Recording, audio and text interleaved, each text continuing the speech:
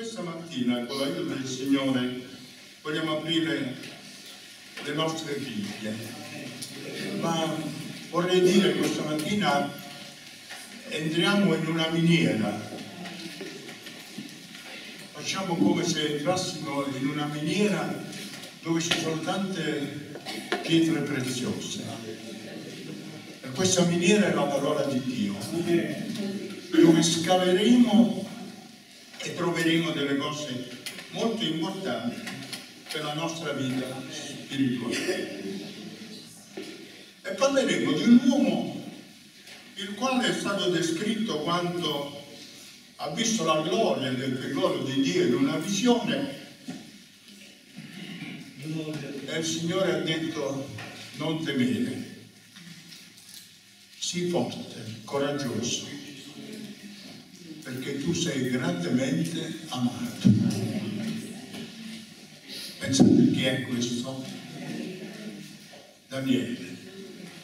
E questo personaggio Daniele questa mattina ci introdurrà in questa galleria, in questa miniera dove vedremo passo passo e troveremo delle pietre preziose, il quale sono utili ad adornare la nostra vita spirituale. Voi mi seguirete, io leggerò alcuni versi alla volta e ci soffermeremo quando troveremo queste pietre preziose del capitolo 6 del libro di Daniele. È scritto nella parola del Signore, l'Apostolo Pietro dice che noi siamo stati fatti partecipi della natura divina di Dio, avendo ricevuto la nascita e abbiamo lo Spirito suo dentro di noi. E poi dice alla fede sopraggiungete le virtù.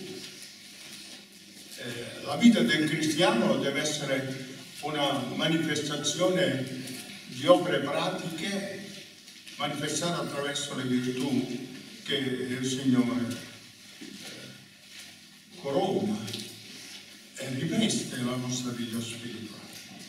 Allora leggiamo questo passo della scrittura e ci fermeremo un po' versetti alla volta. Parve bene a Dario di affidare l'amministrazione del suo regno a 120 sacri distribuiti in tutte le province del regno, e sopra di loro nominò tre capi, uno dei quali era Daniele, perché i satrapi rendessero conto a loro e il re non dovesse soffrire alcun danno.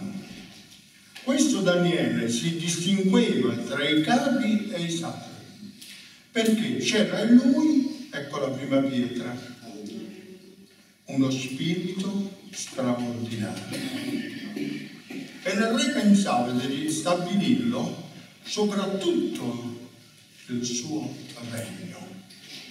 Ci soffermiamo alla prima pietra. Daniele possedeva uno spirito straordinario.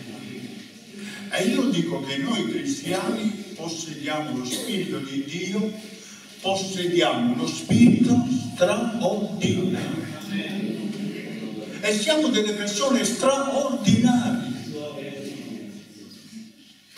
perché non viviamo soltanto umanamente guidati dalla nostra volontà. Ma la nostra volontà sottoposta a Dio e guidata e benedetta da Lui che l'ha rinnovata. La nostra vita noi viviamo in questo mondo avendo ricevuto uno spirito straordinario, perché lo Spirito Santo è dentro di noi. Signore dice lui verrà e dimorerà in noi. E lui dimora in noi. Io e il Padre faremo dimora. E il Signore dimora in noi. E perciò noi possiamo fare anche opere straordinarie del quale il Signore ci ha affidato. Questi segni accompagneranno coloro che avranno creduto. Avere fede. Perché il Signore muove la sua mano quando noi crediamo e opera potentemente attraverso la nostra vita. Azioniamo la nostra vita di questo spirito straordinario il quale il Signore ha unito i suoi figlioli, il suo popolo. Noi siamo stati fatti figlioli di Dio, no? Non nati dalla carne né dal sangue, ma dall'alto. E allora siamo figlioli di Dio e abbiamo lo Spirito di Dio, lo Spirito della sua grazia e alla sua grazia dobbiamo ancora sopraggiungere delle virtù. Daniele, che si trovava sotto questo regno di Nebuchadnezzar e poi di Dario e poi di Ciro, lui è stato con diversi re eh, di quel tempo, usati da Dio in quel periodo, era un uomo il quale eccelleva in sapienza, in conoscenza, perché lui era una persona speciale, perché lui era una persona che aveva un buon rapporto con Dio. Teniamo sempre questo buon rapporto con Dio. Io sono stato nelle poste e quando è stato il periodo del terremoto nell'80 mi mandarono a chiamare dentro dal direttore, stavano tutti riuniti e dovevano decidere se andare via o rimanere. E mi mandarono a chiamare e dissero chiamiamo Ascaraldo. Lui sa buoni rapporti con Dio. Quello che lui dirà di fare, noi quello faremo. E mi sono trovato davanti al direttore, davanti a, a tanti colleghi eh, superiori. E mi hanno chiesto se dovevano chiudere e andare tutti via a casa per le scosse di terremoto oppure dovevamo restare. Eh, grande responsabilità. Però loro avevano fiducia in me e evidenziavano che, riconoscevano che per grazia di Dio in mezzo a loro c'era un uomo di Dio. E io mi sentì nel cuore di dire, fin quando io sarò qui non succederà niente ma quando andrò via non sono responsabile più.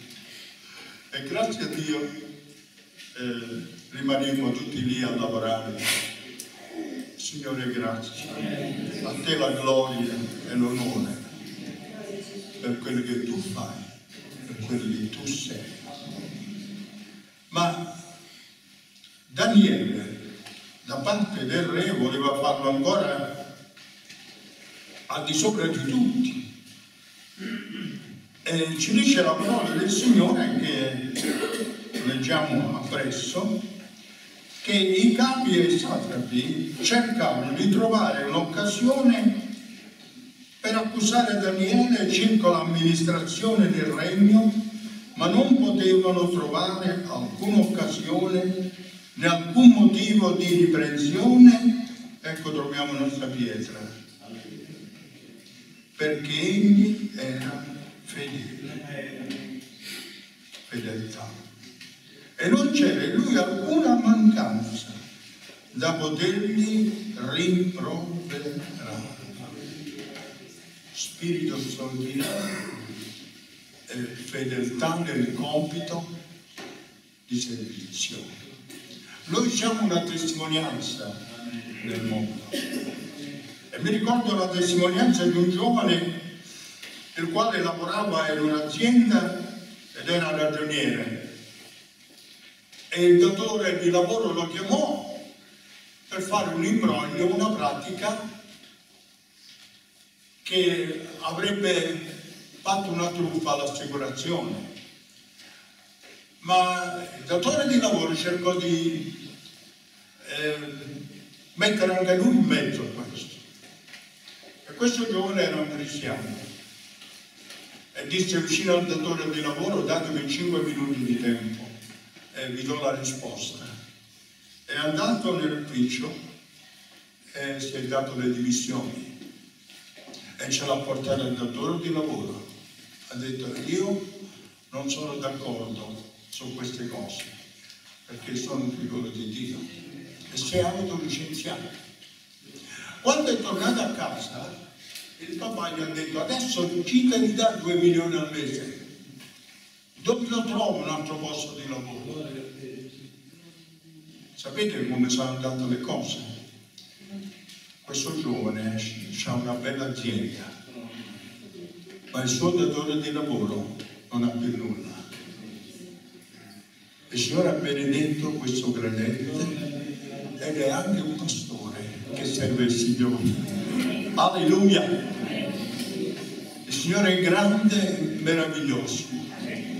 Non trovavano niente da potersi appellare nel compito del servizio che Daniele conviva, conviva nell'amministrazione del re Dario.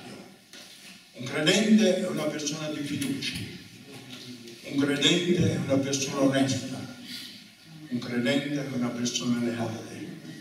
Stiamo trovando tutte queste pietre preziose, spirito straordinario e fedeltà.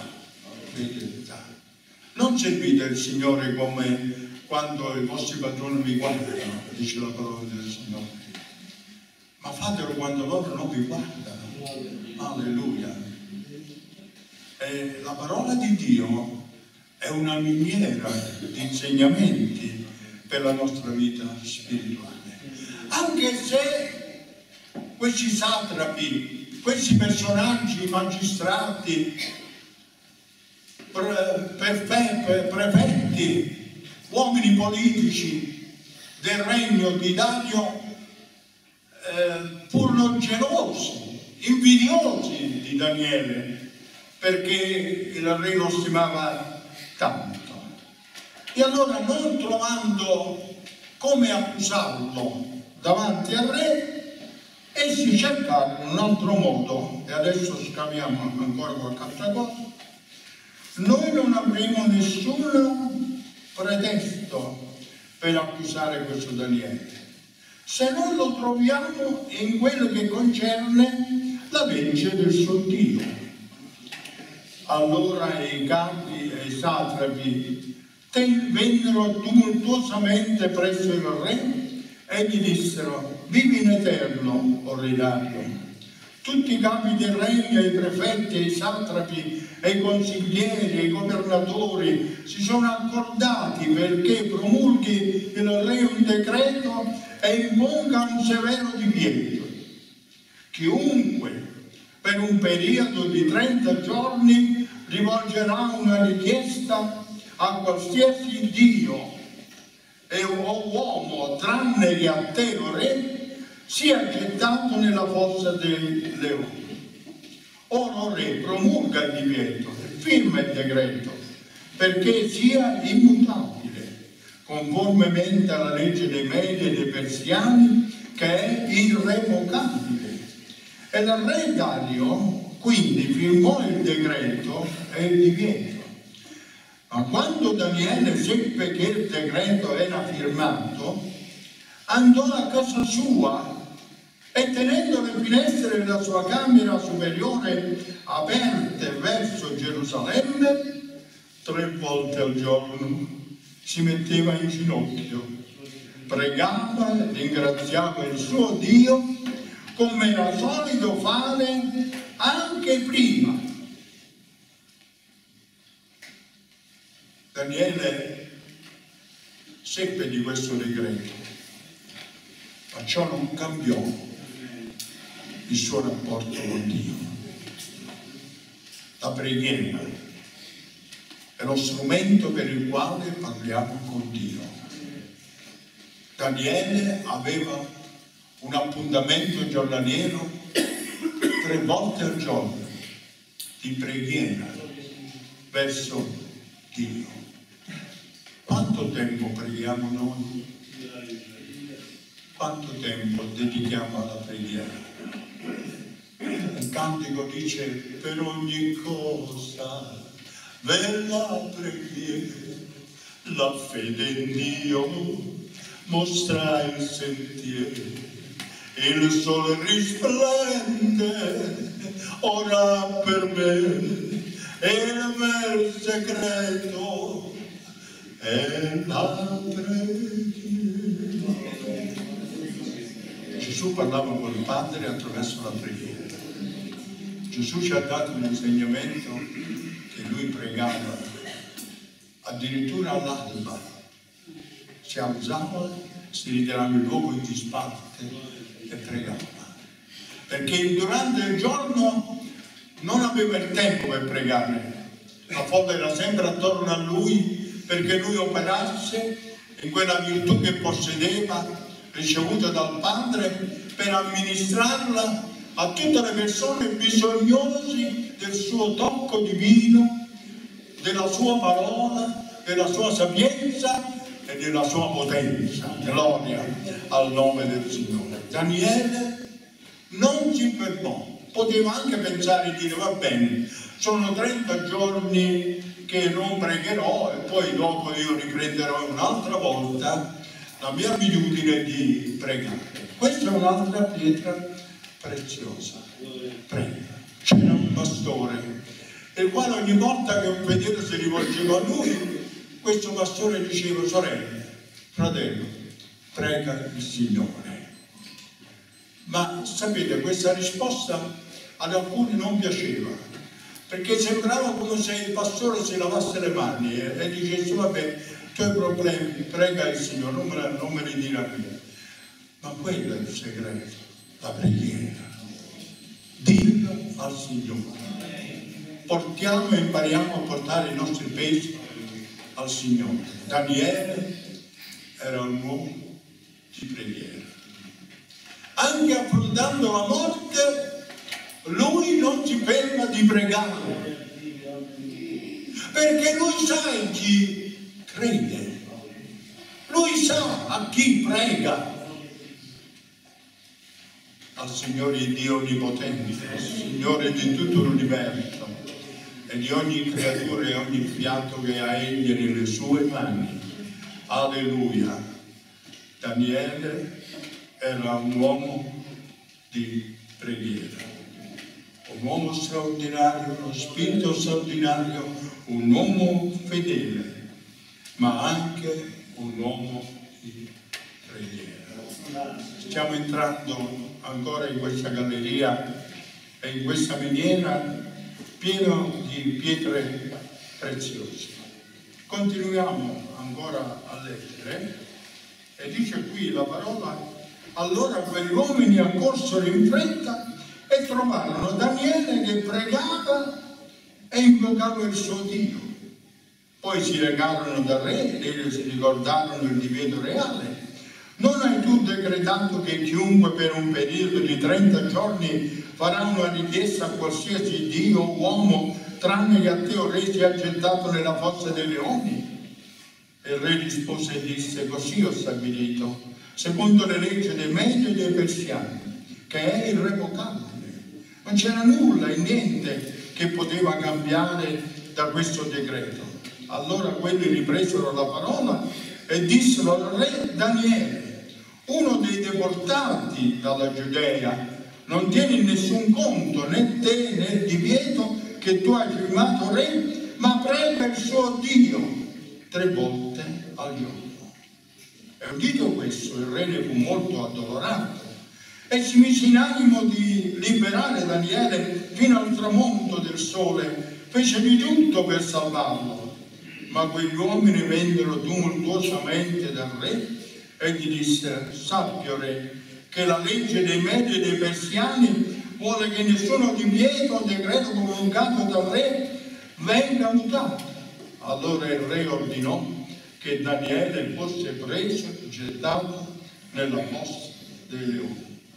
E il re parlò a Daniele e gli disse, il tuo Dio che tu servi con perseveranza, vedete quest'altra pietra preziosa, sarà lui a liberare. Alleluia. Quel Dio, lui cercato di fare tutto il re, Lui stesso non poteva più cambiare le leggi e il decreto stato fatto. Ma c'era qualcuno che poteva cambiare tutto. Ora, anche quando sembra che tutto sia contro di noi, il Signore è con noi. Ed è colui che ci libererà. Alleluia come quattro giovani che andarono, tre giovani che andarono nella fornace e non si inchinarono davanti alla statua e si dissero oh, Dio ci libera o non ci libera? Noi non ci inginocchieremo davanti alla statua che tu hai fatto. Ma Dio lui li liberò perché mandò un suo angelo alleluia. Addirittura nella fornace non erano più tre ma erano quattro e una era simile a un figliuolo. Era Gesù. Nella teofania della Bibbia Gesù appare molte volte. Alleluia. Prima ancora che venisse nel mondo. Alleluia. Seguiva gli uomini di Dio e il piano di Dio. Dunque, il re riconosceva che Daniele serviva Dio con perseveranza. Quante volte ci viene la tentazione di venire meno, di fermarci? Siamo perseveranti, perché chiunque avrà perseverato fino alla fine sarà salvato. Alleluia. Signore facci più perseverare. E ci prendiamo quest'altro gioiello prezioso. Ma il re ritornò al suo palazzo, digiunò tutta la notte, non fece nessuna delle concubine non riuscì a dormire. E la mattina il re si alzò molto presto, appena fu giorno, e si recò in fretta alla fossa dei leoni e quando fu vicino alla fossa, chiamò Daniele con voce angosciata e gli disse, Daniele, servo del Dio vivente. Alleluia. Questa è un'altra pietra preziosa. Daniele serviva un Dio vivente, riconosciuto anche dal suo re Dario. Daniele, servo del Dio vivente. Il tuo Dio che tu servi con perseveranza, ha potuto liberarti dai leoni? Sì, Daniele rispose al re, vivi per sempre, o re, il mio Dio. Quanto è bello questa dichiarazione.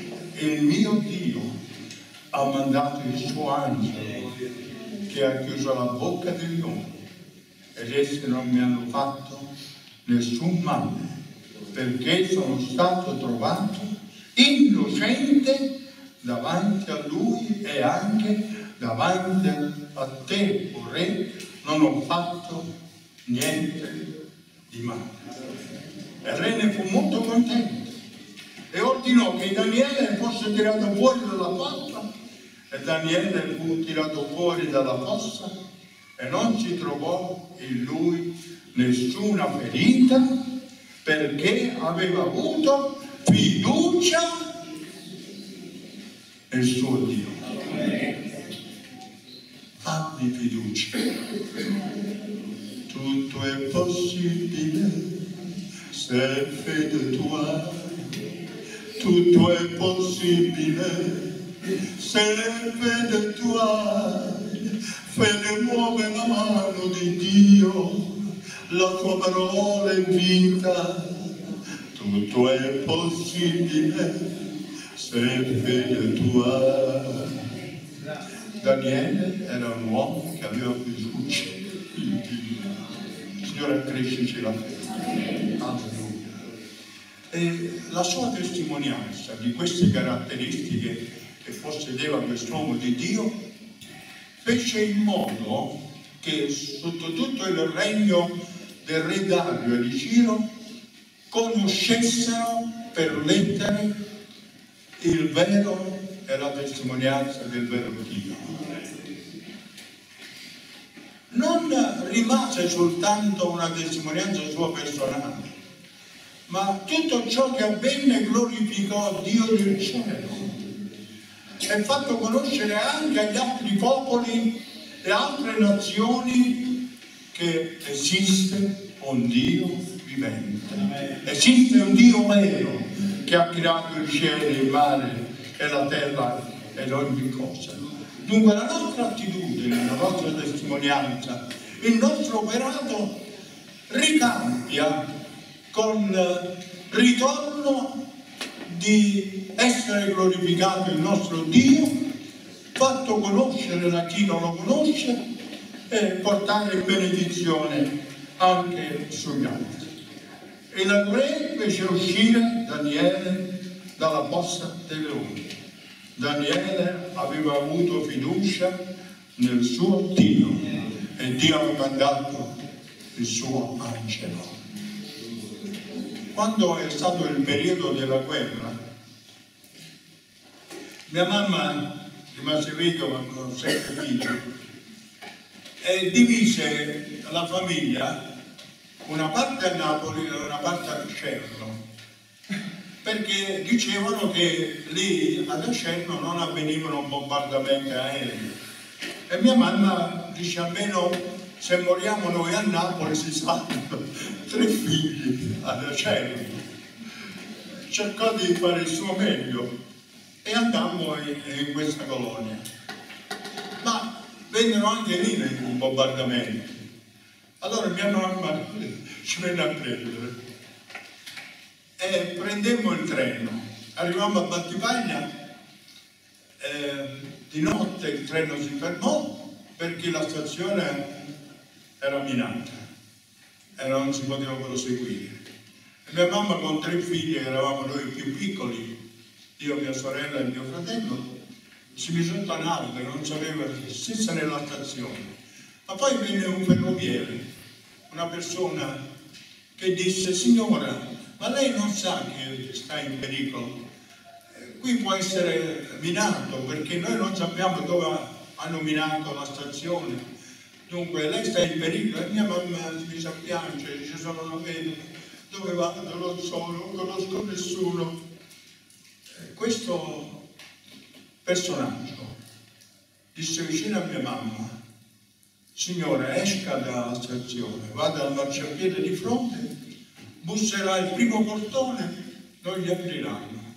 Busserà il secondo portone, non gli apriranno, ma il terzo portone gli apriranno. E improvvisamente fummo presi in braccio, non lo so, ci trovavamo dall'altra parte della stazione e quest'uomo scomparve. E veramente si avverò quello che era stato detto. Allora mamma che era una cristiana, la credente, disse, il Signore ha mandato il suo angelo per non farci mettere paura. L'ha fatto venire vestito da ferroviere. Perché come era possibile che questa persona sapesse che al terzo portone ci aprirebbero. E quando bussammo al terzo portone si affacciarono e ci aprirono subito e loro dormivano nel letto, si misero a dormire a terra, questa famiglia, e noi ci misero nel letto. E la mattina dopo arrivamo. Daniele assicura il re e dice, o re, possano vivere in perpetuo, il Dio al quale io servo ha mandato il suo angelo, ha chiuso la bocca del leone. Gli angeli del Signore si accampano intorno a coloro che lo temono. Gloria al nome del Signore. Allora arriviamo eh, quasi alla conclusione. Leggiamo ancora dopo di questo che Daniele è un fiducioso e per ordine del re gli uomini che avevano accusato Daniele furono presi e gettati nella fossa dei leoni con i loro figli, le loro mogli e non erano ancora giunti in fondo alla fossa che i leoni si lanciarono su di loro e stritolarono tutte le loro ossa. Allora il re Dario scrisse alle genti di ogni popolo, nazioni e lingue che abitavano in sulla terra, pace e prosperità vi siano date in abbondanza.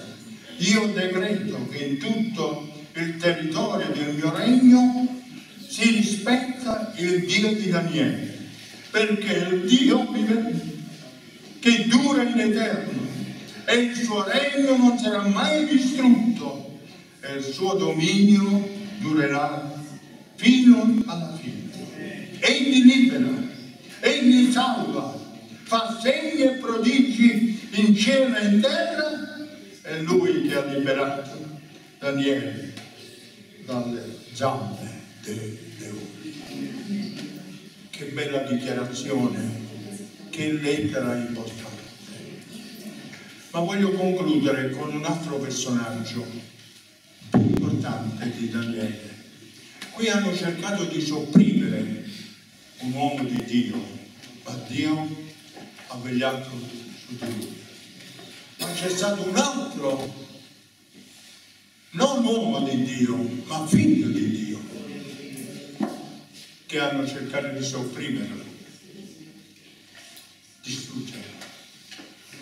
Assicurando anche loro, come hanno fatto questi uomini, che hanno voluto anche mettere il sigillo del re sopra la bocca della fossa dei leoni che nessuno avrebbe mai potuto toccare o aprire o riaprire e salvare fare qualcosa per Daniele. L'hanno fatto con Gesù. Si sono assicurati di mettere il sigillo perché temevano che lui risuscitasse. Ma loro pensavano di farlo finita. Oramai nella tomba è finito tutto. Pensavano ai nemici del Signore. Hanno messo il sigillo, hanno messo delle guardie, ma al primo giorno della settimana è sceso un angelo dal cielo, si è aperto la tomba, alleluia, e Cristo Gesù vivente è uscito, risorto per dare un messaggio al mondo di ieri e speranza al mondo di oggi e di domani. Un messaggio universale di vita e di immortalità.